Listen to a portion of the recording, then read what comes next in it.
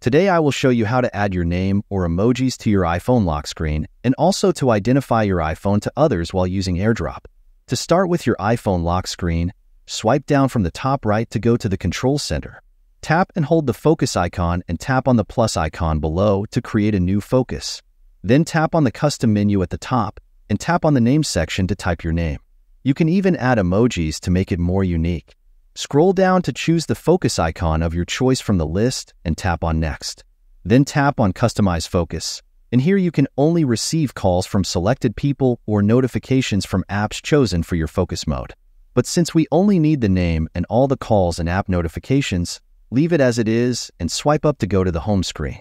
Swipe down from the top right and tap and hold the focus icon. Then select the focus of your name that you just created. And when you go to your iPhone lock screen, your name will be displayed with the emojis. Now let us change your iPhone name when you search using AirDrop. Go to your Settings app, swipe down, and go to General.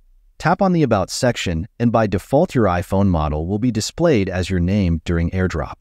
Tap on it, and type your name along with emojis if you like, and tap on Done.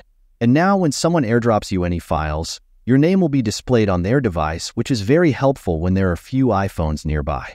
Don't forget to subscribe to Techloper for more such iPhone tech perks that works. See you over there.